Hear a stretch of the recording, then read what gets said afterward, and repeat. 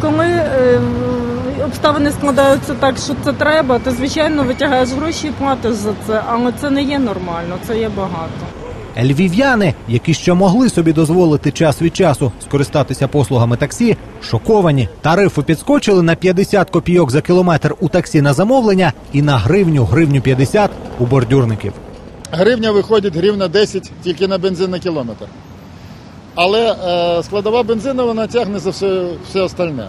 За останній час е, не стільки зросли запчастини, як зросле обслуговування. Воно фактично в два рази підскочило.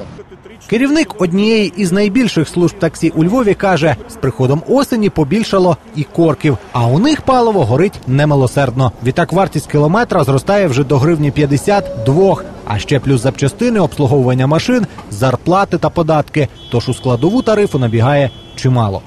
Як тільки в місті Львові випаде сніг і буде трошки ожеледиця, ціни ще раз піднімуться. І також можу спрогнозувати, що з приходом весни, коли зменшується попит на таксі, ціна буде як мінімум стала, а деякі фірми, фірми будуть ціну е, зменшувати при умові, що пальне буде триматись на такому ж рівні. Львів'яни, хоч і ошелешені новими тарифами, але перевізників розуміють. Я не маю відношення до таксі і таксистів, але я, судячи з своєї роботи, я бачу наскільки звисилась оця корупційна складова з кожного питання. Я рахую, що це не жажда наживи в даному моменті. Це просто умови, в які поставлені таксісти. А ця пані вже й забула, коли востаннє їздила у машині із шашечками. Нині користується громадським транспортом та тішиться, що хоч у радянські часи наїздилася на таксі. Тоді було 3 рубля з автовокзалу до вокзалу залізничного. Тобто дуже дешево було.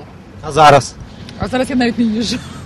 тим часом новими тарифами вже зацікавилася в антимонопольному комітеті. Перевірити, чому підняли розцінки, хочуть вже у найближчі тижні.